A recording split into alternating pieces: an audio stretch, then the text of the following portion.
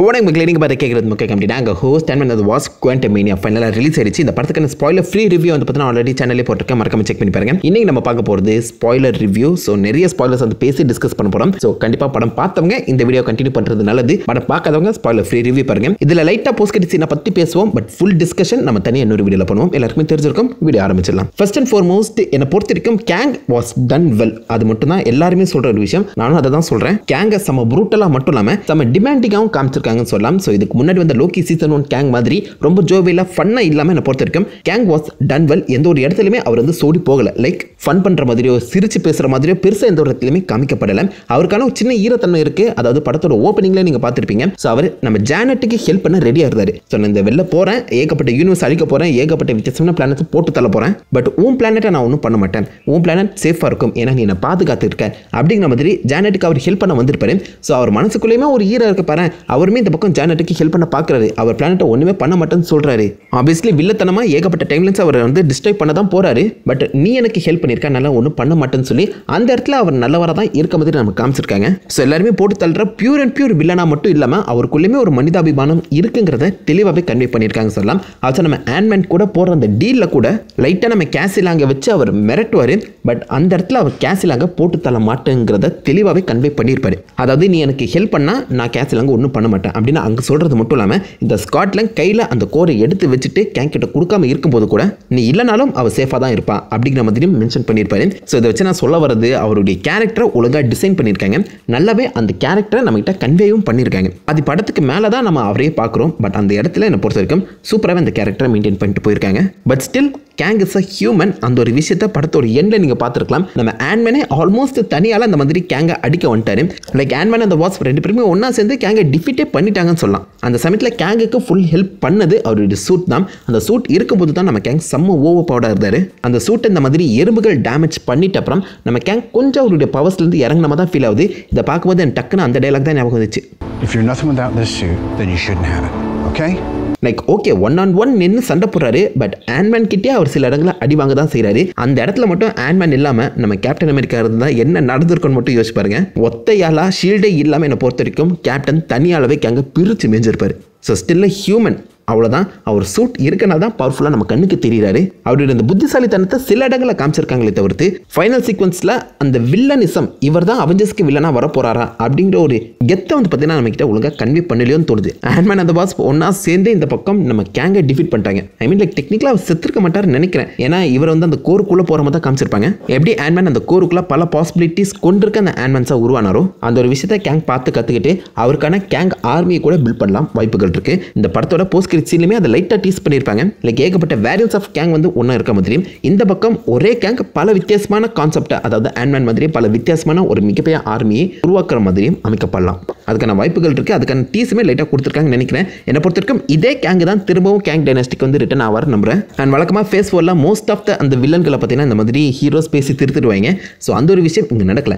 லிட்டலாக நம்ம ஆன்மன் அந்த வாஸ் ஒன்றா சேர்ந்து கேங்கை டிஃபீட் பண்ணுற மாதிரி காமிக்கப்பட்டிருக்கு. ஸோ இந்த படத்தில் தான் எல்லாருமே எதிர்பார்த்தது கேங் பாசிபிளி ஆன்மன் அந்த வாஸ் டிஃபீட் பண்ணி வெளியில் வந்துடுவாருன்னு ஐ மீன் லைக் வில்லன் வந்து ஜெயிப்பார் தான் நம்ம வந்து எதிர்பார்த்தோம். பட் அந்த மாதிரி காமிக்காம முடிச்சது ஒரு மிகப்பெரிய சர்ப்ரைஸாகவே இருந்துச்சுன்னு சொல்லலாம். நானே என்னடா இப்படி பண்ணிட்டாங்க? அப்படிங்கிற மாதிரி யோசிச்சேன். அது ஒரு நல்ல ட்விஸ்ட்டாக இருந்துச்சு நல்லாவே இருந்துச்சு. என்னை பொறுத்த வரைக்கும் இந்த படத்தில் நம்ம கேங்கை ரொம்பவே நல்லா யூஸ் பண்ணியிருக்காங்க. பட் சில இடங்களில் அவர் கொஞ்சம் வீக்காக காமிச்சது இவர் அப்புறம் அவஞ்சஸ் லெவல் வில்லனாக கூட்டு வர போகிறாங்க அப்படிங்கிற ஒரு கேள்வி எழுப்ப தான் செஞ்சது. பட் ஓவராலாக கேங் இந்த படத்தோட ஒரு மிகப்பெரிய பாசிட்டிவ் பாயிண்ட் இந்த கேங்கோட படம் அவ்வளோதான் ஆன்மேனோட கேரக்டர் ரொம்பவே அழகாக இருந்துச்சு. எனக்கு தெரிஞ்சு எந்த ஒரு மைனஸுமே அந்த கேரக்டருக்கு சொல்லவே முடியாது. ஆன்மேன் ஒன்ல நீங்கள் எப்படி பார்த்தீங்களோ அதே மாதிரி ஒரு குவர்க்கியான செம்ம ஃபன்னனும் ஆன்மேன் ப்ளஸ் தான் பொண்ணு மேலே அதிக பாசம் இருக்க ஒரு அப்பா. இந்த ரெண்டு ரோலையுமே அழகாக பால்டன் அடிச்சு நோத்திட்டாரு எமோஷன்ஸ் வெளிப்படுத்த விடம் கூட ரொம்ப நல்லா இருந்துச்சு. ஒரு ஸ்பெசிஃபிக்கான சீன் சொல்லும்போது நம்ம ஹேங் பேம் ஆன்மனோட அந்த புக்கை எவ்ரி சிங்கிள் வேர்டு நான் படித்தேன் அப்படின்னு சொல்லும்போது நீங்கள் அந்த ஆன்மேனோட முகத்தில் ஒரு பெருமையை பார்க்க முடியும். Like Hank Pym is a super genius I mean லிட்டரலாக ஒரு ஆண்ட் ஆர்மியே அவர் வந்து பில்ட் பண்ணியிருக்காரு ஆண்ட்ஸுக்கு டெக்னாலஜி கொடுத்துருக்காரு. பின் பார்ட்டிகல்ஸை கண்டுபிடிச்சிருக்காரு. லைக் இந்த உலகத்துக்கு எல்லாருமே வந்திருக்காங்கன்னா அதுக்கு பின் பார்ட்டிகல் ரொம்ப முக்கியம் இல்லை அவ்வளோ சூப்பர் ஜீனியஸான ஒரு ஆள். சாதாரண திருடன் வில்லனோட ஒரு புக்கை படிச்சிருக்கேன். எவ்ரி சிங்கிள் வேர்டும் நான் படிச்சிருக்கேன். ப்ளஸ் அதில் இருக்க ஒரு வார்த்தையுமே குவேட் பண்ணும்போது அந்த ஒரு விஷயம் நம்ம ஆன்மனுக்கு பெருமை தானே? அந்த ஒரு சீன் அதில் ஆன்மனோட எக்ஸ்பிரஷன் சொல்லி எல்லாமே நல்லா இருந்துச்சு. அவர் சின்ன சின்ன சிரிப்பு காட்டுற விஷயங்கள் பண்ணும்போதும் சரி ஃபைனலாக கேங்கை வெளியில் விடாமல் அவனை தடுக்க ட்ரை பண்ணுற அந்த சீக்வன்ஸும் சரி எல்லாமே டாப் நாச்சுக்கு ஆன்மேன் அண்ட் கேங் சூப்பராகவே பெர்ஃபார்ம் பண்ணியிருந்தாங்க. அண்ட் இவங்க மேலே தான் அதிகமான ஃபோக்கஸும் போட்டிருக்காங்கன்னு நினைக்கிறேன். இவங்களை தாண்டி மற்ற எந்த ஒரு கேரக்டர்ஸும் ஷைன் ஆகலை.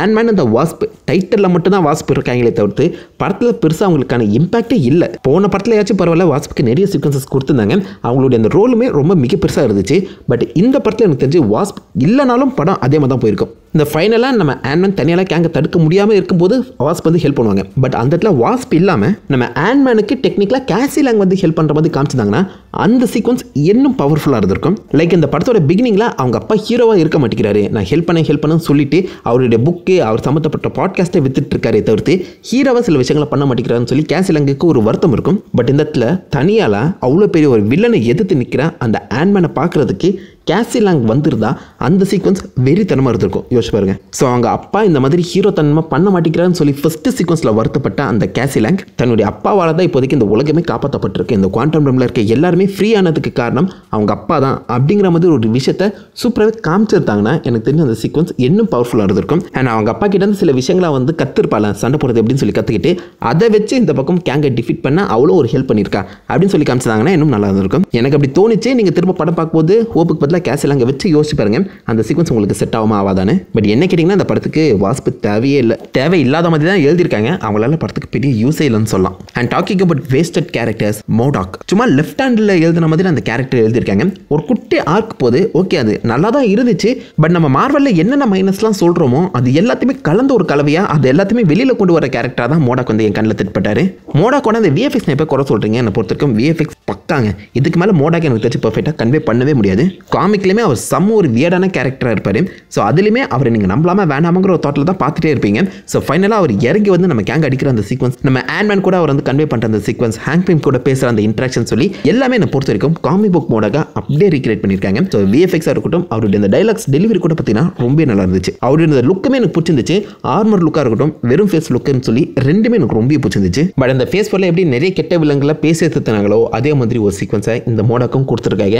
ஏம்லாம் அப்படி பண்ணுறீங்க எந்த அளவுக்கு ஒரு விருத்தியான கேரக்டர் அவர் இப்படி வேஸ்ட் பண்ணிட்டீங்களேன்னு சொல்கிற மாதிரி ஆயிடுச்சுங்க.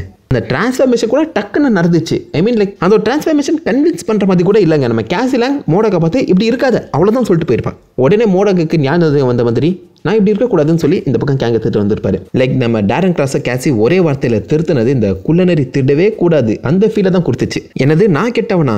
இல்லை அப்படின்னு சொல்லி டப்புனா அவர் வந்து நல்லா வர மாட்டார். அது சூப்பர் ரஷ் பண்ணிட்டாங்க. ரஷ் பண்ணாமல் கொடுத்துருந்தா அது நல்லாவே இருந்திருக்கும். டிரான்ஸ்ஃபர்மேஷன் ரஷ் பண்ண தான் தப்புன்னு சொல்கிறேன் லைக் எந்தனால அந்த டிரான்ஸ்ஃபர்மேஷன் இவ்வளோ வருஷங்கள் நீ இந்த குவாண்டமனியாக்குள்ள கேங் கூட ஒன்றா சேர்ந்து ஒர்க் பண்ணியிருக்கேன். டப்புன்னு சொல்லி உன்னை எப்படி மாற்ற முடியும்? இந்த மாதிரி வேறு யாருமே உங்ககிட்ட சொல்லலையான்னு சொல்லி ஏகப்பட்ட கேள்விகள் கண்டிப்பாக எழுவோம். So MODOK character was waste wasted நல்லா தான் போயிட்டு இருந்துச்சு ஃபைனலாக அந்த ஒரு டிரான்ஸ்ஃபர்மேஷனை கொடுத்து வேஸ்ட் பண்ணிட்டாங்க. அதுலேயுமே அவர் சாகும்போது அந்த சீனை அவங்க எமோஷனலாக ப்ளே பண்ணியிருக்கலாம் இல்லை காமெடியாக ப்ளே பண்ணியிருக்கலாம் ரெண்டுத்துமே கலந்தடிச்சு என்ன மாதிரி ரியாக்ஷன் அவங்க எதிர்பார்க்குறாங்கன்னு சத்தியமாக தெரில இவன் சாக போகிறானே நினச்சி வருத்தப்படுறதா? வில்லன் சாக போகிறானே நினச்சி சந்தோஷப்படுறதா? இல்லை அவன் அடிக்கிற அந்த காமெடியை நினச்சி சிரிக்கிறதா? இல்லை அவன் பேசுகிற அந்த எமோஷனலான டைலாகை நினச்சி லைக் ஃபீல் பண்ணுறதான்னு சொல்லி ஒரு ரியாக்ஷனுமே நம்மகிட்ட வர மாட்டேங்குது. திஸ் இஸ் டிப்பிக்கல் மார்வல் எனக்கு தெரிஞ்சு மார்வல் அவங்களே கலாச்சிக்கிற மாதிரி தான் எனக்கு இந்த சீக்வன்ஸே ஃபீல் ஆச்சு. அதுவும் நல்ல ஒரு வேல்யூபிளான கேரக்டர் டப்புன்னு கொண்டுட்டாங்க இதுக்கப்புறம் அந்த மோடாக்கு யூஸே பண்ண மாட்டாங்களா? ரெட் ஹல்க் உருவாகிறதுக்கு மோடாக் மிக முக்கியமான ஒரு கேரக்டராக இருக்க வேண்டியது. மேபி லைக் ஃபியூச்சரில் இந்த மோடாக்கு நிறைய வேரியன்ஸ் இருக்காங்க அப்படின்னு சொல்லி கூட கூப்பிட்டு வரலாம். ஸோ டேரன் கிராஸாக இல்லாமல் வேற ஒரு வேரியன்ட் ஆஃப் மோடாக்கை பற்றி அழகாக கூப்பிட்டு வரலாம்னு நினைக்கிறேன் ஐ ஹோப் பட் ஒரு நல்ல கேரக்டர் நல்லா போயிட்டு இருந்துச்சு அவங்களுக்கான கதை டப்புன்னு ஒரு ட்விஸ்ட்டை வச்சு அந்த கேரக்டரை வேஸ்ட் பண்ண மாதிரி தான் ஃபீல் ஆச்சு. படத்தோட ஃபர்ஸ்ட் ஆஃப் செம்ம கிரவுண்டட் செம்மையாக விஎஃப்எக்ஸ்லாம் பண்ணியிருக்காங்க. மிகப்பெரிய குறையாக இருந்தால் மார்வல் அந்த பிரச்சனையை வந்து பார்த்தீங்கன்னா சரி பண்ணியிருக்காங்க சொல்லலாம். பெரிய சிவிலைசேஷனை அழகாகவே காமிச்சிருந்தாங்க இந்த சிவிலைசேஷனுக்குள்ளே இருக்க சில வித்தியாசமான கேரக்டர்ஸ் அவங்களோட பேச்சுவார்த்தை எப்படி நம்மளுக்கு புரியுது? அவங்களோட லாங்குவேஜ் எப்படி நம்மகிட்ட கன்வே பண்ணுறாங்கன்னு சொல்லி அதுக்கு ஒரு சின்ன பேக் ஸ்டோரி கொடுத்து அது எல்லாமே அழகாக இருந்துச்சுங்க. அந்த குவாண்டம் டர்மில் எக்ஸ்ப்ளோர் பண்ணது ரொம்பவே கிரவுண்டடாக இருந்துச்சு. லைக் ஒரு அவதார் எஃபெக்டை கொடுத்துச்சுன்னு சொல்லலாம். இந்த கேங்குங்கிற ஒரு கேரக்டர் இருந்துச்சு. எதுக்கு பயப்படுறாங்க? அந்த கேங்குங்கிற கேரக்டர் எவ்வளோ பயங்கரமான வரும்னு சொல்லி அது எல்லாத்தையுமே மக்களோட பாயிண்ட் ஆஃப் வியூவில் வந்து பார்த்தீங்கன்னா நம்ம கிட்ட கன்வே பண்ணது ரொம்பவே ரசிக்கப்பட்டு இருந்துச்சு. அதனாலே கேங் எப்படா வருவாருன்னு சொல்லி ஒரு ஹைப்புமே கிரியேட் ஆச்சுன்னு சொல்லலாம்.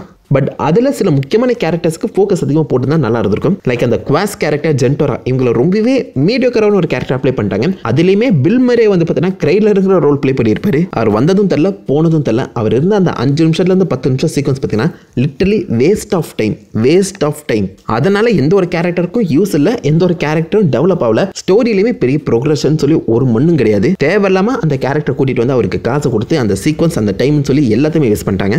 பத்தாவது வரைக்கும் தேவையில்லாத அந்த காமெடி டைலாக்ஸ் வர யார் கேட்டா? படத்தோட ரன் டைமே ரெண்டு மணி நேரம் தான். அதில் தேவையில்லாமல் இந்த கேரக்டருக்கு ஒரு அஞ்சு நிமிஷம் வேஸ்ட் பண்ணிட்டாங்க. இந்த அஞ்சு நிமிஷத்தை தூக்கி கேங்கு கொடுத்துருக்கலாம். கேங்கோட அந்த ஃப்ளாஷ்பேக் இன்னும் தெளிவாக எக்ஸ்பிளைன் பண்ணியிருக்கலாம் கேங்கோட அந்த மோட்டிவ் இன்னும் தெளிவாக கன்வே பண்ணியிருக்கலாம் லைக் அவர் திடீர்னு வராரு எனக்கு இதெல்லாம் தேவை இந்த மொத்த டைம்ல நான் காங்கர் பண்ண போகிறேன் அப்படிங்கிற மாதிரி சொல்கிறாரே தவிர்த்து இதெல்லாம் ஏன்டா நீ பண்ணுற அப்படிங்கிறத அவங்க தெளிவாக கன்வேவே பண்ணல. ஓகே நம்ம மாரோலேருந்து ஃபாலோ பண்ணிட்டு வரோம். நமக்கு ஓரளவுக்கு புரியுது. இந்த லோகி சீசன்லாம் பார்த்தவங்களுக்கு எல்லாருக்குமே ஓரளவுக்கு தெரிஞ்சிருக்கும். பட் அதை தாண்டி ஜென்ரல் ஆடியன்ஸை பற்றி யோசிச்சு பாருங்க. என்னென்னமோ சொல்கிறான் பாருயா அப்படிங்கிற மாதிரி தான் உட்காந்துருப்பாங்க அது இன்னும் அவங்க டைலாக் தாண்டி சீக்வன்ஸாக கன்வே பண்ணியிருக்கணும்.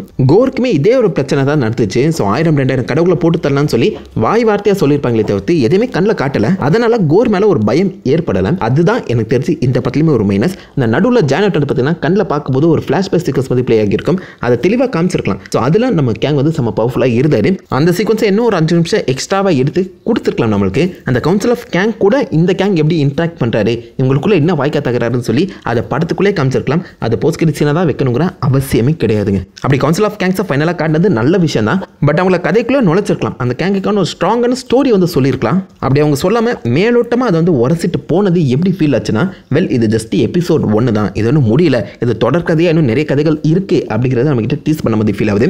ஸோ ஆன்மேன் ட்ரையாலஜின்னு சொல்லும்போது இது ஒரு கம்ப்ளீட் படமாகவே நம்மளுக்கு ஃபீல் ஆகல. இதை பார்த்துட்டு அப்படியே நீங்கள் கேங் டைனஸ்டி பார்க்கணும் அப்படின்னா தான் இது வந்து உங்களுக்கு புரியும். அப்படிங்கிற மாதிரி தாட்டை நம்மகிட்ட கிரியேட் பண்ணிட்டாங்க. ஸோ இது ஒரு படம். இது சீரீஸ் கிடையாது. படமாக இருக்கும்போது it should be complete obviously சில கிளிஃபேங்கர்ஸ் கொடுக்கலாம். பட் இருந்தாலும் அட்லீஸ்ட் ஒருத்தருடைய கதையாச்சும் நம்மளுக்கு தெளிவாக கன்வே பண்ணியிருக்கணும். அங்கங்கே தொட்டு தொட்டு விடுறதுலாம் வந்து செட் ஆகாதுங்க மாரலிலேருந்து வெளியில் வரணும். ஃபேஸ் ஃபோரில் நிறைய படங்கள் இப்படி தான் அமைஞ்சு வேஸ்ட்டாக போச்சு. என்னை பொறுத்த வரைக்கும் இன்ஃபினிட்டி சாக எடுத்து பார்த்தீங்கன்னா நிறைய படங்கள் கம்ப்ளீட்டாக இருக்கும். கார்டன்ஸ் ஒன் டூவாக இருக்கட்டும். கேப்டன் அமெரிக்கா பிளாக் பேந்தர் இந்த மாதிரி மோஸ்ட் ஆஃப் த படங்கள் சோலோ படமாக தான் இருக்கும். பட் இது வந்து சோலோ படமாக நமக்கு ஃபீலே ஆகலை. இது ஒரு அடுத்த படத்துக்கான செட்டப்பாக தான் நம்மளுக்கு தெரியுது. ஸோ அடுத்த படத்துக்கு இது ஒரு ஃபஸ்ட் எபிசோடாக நமக்கு ஃபீல் ஆகுது. அது ஒரு சாட்டிஸ்ஃபேக்ஷன் நம்மளுக்கு கொடுக்கல. அதுதான் உண்மை. அண்ட் சில இடங்களில் இது தோர் ரேனராக்கான அந்த வைபேமே கொடுத்துச்சு. லைக் அந்த ரெபலியன் ரெவல்யூஷன் அடிமைத்தனம் அதே மாதிரி கிராண்ட் மாஸ்டர் லெவலில் இந்த பக்கம் நம்ம கேங்க புஷ் பண்ணுது. அந்த சில சீக்வன்ஸ்லாம் அப்படியே பேரலாக நம்ம தோர் ராக்னராக்க தான் ஞாபகப்படுத்திச்சு. அந்த தோர் ராக்னராக்கில் கூட ரெவல்யூஷன் பண்ணல நம்ம கோர்கு மீக்குன்னு சொல்லி சில இன்ட்ரெஸ்டிங்கான கேரக்டர்ஸ் நம்மளுக்கு ஞாபகம் இருக்காங்க. பட் இந்த படத்தில் அந்த மாதிரி ஒரு யூனிக்கான கேரக்டர்ஸ்னு சொல்லி யாருக்குமே நம்மளுக்கு தோணலை ஃபீல் ஆகலை. ஓகே ஜென்ரலாக கொடுத்துட்டாங்க போல். அதே மாதிரி ஃபைனல் ஆக்ஷன் சீக்வன்ஸ் பார்த்தீங்கன்னா எனக்கு டக்குன்னு அக்வாமனை தான் ஞாபகப்படுத்துச்சு நிறைய விஷயங்கள் பார்த்தீங்கன்னா நடக்கும். அண்ட் ஸ்டார் வாஸ் எஃபெக்ட்லையும் அதை வந்து ப்ரெசென்ட் பண்ணியிருப்பாங்க. நல்லா பிரம்மாண்டமாக இருந்துச்சு. கச்சா முச்சான்னு சில பேருக்கு ஃபீல் ஆகியிருக்கலாம். சில இடங்கள் அப்படி இருந்தாலும் அந்த கலவரத்துக்கு நடுவில் ஒரு சின்ன கதையுமே சொல்லி அதுக்குள்ளே எமோஷன் ஹேங்குக்கான ஒரு மிகப்பெரிய பில்டப் சீக்வன்ஸும் சொல்லி எல்லாத்தையுமே அழகாக அமைச்சிருந்தாங்க. ஸோ என்னை பொறுத்த வரைக்கும் ஃபைனல் ஆக்ஷன் சீக்வன்ஸ் சில இடங்களில் கச்சா முச்சான் இருந்தாலும் ஓவராலாகவே நல்ல டாப் நாச்சாக செம கிளாரிட்டியாக நல்ல விஎஃப்எக்ஸ்லாம் பக்காவாக செஞ்ச ஒரு சீக்வன்ஸ்னு சொல்லலாம். அதே இந்த பக்கம் அந்த கோருக்கு கோருக்குள்ளே எல்லா ஆன்மனுமே ஒன்றா சேர்ந்து அவங்க ஒரு விஷயத்தை பண்ணுவாங்க. அதுவும் நல்லாயிருக்கும். ஃபைனல் ஆன்மன் வர்சஸ் கேங்குங்கிற ஃபைட் கூட பார்த்தீங்கன்னா சூப்பர் சாலிடாக இருந்துச்சு. மோடாக்க தான் வேஸ்ட் பண்ண மாதிரி தோணுச்சு. மற்றபடி எனக்கு தெரிஞ்ச ஆக்ஷன் சீக்வன்ஸில் எந்த ஒரு குறையுமே உங்களால் சொல்லவே முடியாது. போஸ்ட் கிடிச்சின்னு எந்த ஒரு குறையுமே இல்லாமல் பக்காவாக கொடுத்து யாருமே ஏமாத்தாமல் வச்சுட்டாங்க. லைக் லோக்கி சீசன் டூக்கான டீஸ் கொடுத்துருக்காங்க.